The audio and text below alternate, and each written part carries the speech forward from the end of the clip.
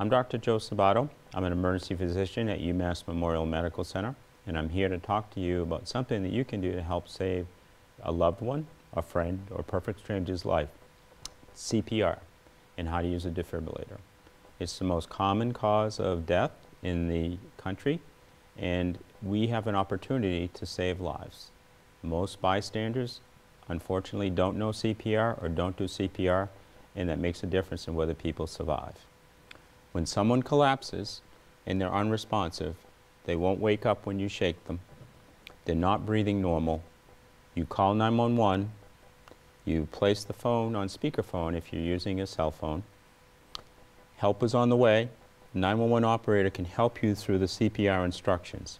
But you start CPR while you're waiting for the 911 operator to ask you questions and answer the questions. You kneel beside the victim and place the victim on the floor if you can and you do CPR in the center of the chest. Push down two inches, you release. You do it at a rate of 100 to 120, the song Staying Alive, or Row, Row, Row Your Boat, or even Baby Sharks. Ask if there's a defibrillator nearby, and send someone to get the defibrillator if you're in a place like a church or a um, store. CPR is hard work. If there are other bystanders present, you can have them take over for you by going across from you and taking over on three.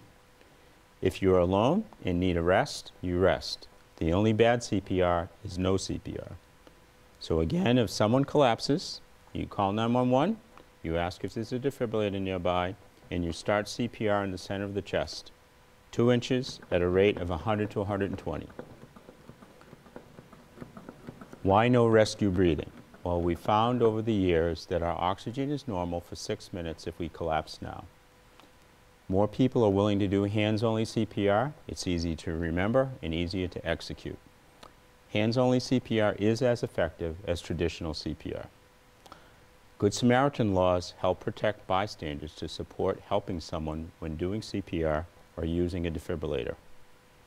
Again, sudden cardiac arrest is the most common cause of death. Only one-third of the time do bystanders do CPR before EMS arrives, and survivors come from those who get CPR. The only bad CPR is no CPR. So when the defibrillator arrives at the side, you want to make sure, again, following the same thing, someone collapses, they're unresponsive, place the phone on speaker, start CPR in the center of the chest, push down two inches, rate of 100 to 120, that's the defibrillator. That's the universal symbol of defibrillators. The, C the continue CPR until the defibrillator arrives. Then CPR is going. You place the pads on bare skin on the person's chest. One will be labeled for the right shoulder and the other will be for the left side of the chest. And CPR is ongoing during this. And we hook up the cables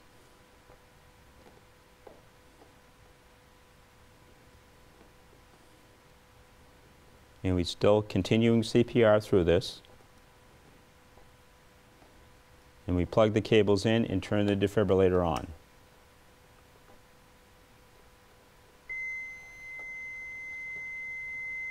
Analyzing heart rhythm. Do not touch the patient. So stop touching the patient, stop CPR, so it can analyze the rhythm.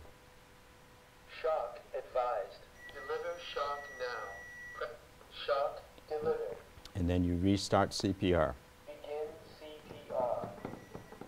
And the reason you restart CPR because even if the defibrillator converts a heart to a normal rhythm, it takes about 45 seconds to a minute before the heart will actually contract, even though it has a nice EKG rhythm with that. In the meantime, if the patient wakes up, pushes you away, that's a good thing, you stop. But otherwise, you continue that. The defibrillator will tell you after two minutes if, and we'll reanalyze the rhythm because sometimes it may take two or three shocks in order to convert somebody. Meanwhile, you keep on the CPR until EMS gets there and follow the directions of the defibrillator. But if someone gets uh, collapses and gets defibrillated within three minutes, their chance of survival is 60% as opposed to 4% if we don't.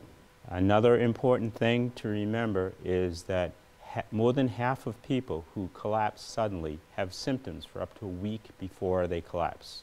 They can be having chest pain, they can be having palpitations, they can be having new shortness of breath, they can be having new sweating and feeling dizzy or weak.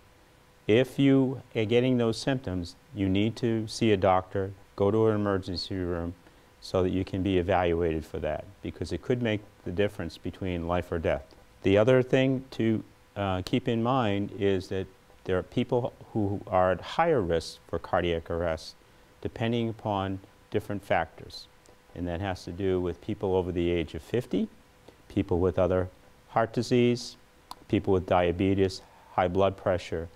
They are at higher risk and they should seek out getting CPR and defibrillator training in their community for themselves, their friends, and their family because they're most likely to be the bystanders and can help save someone's life.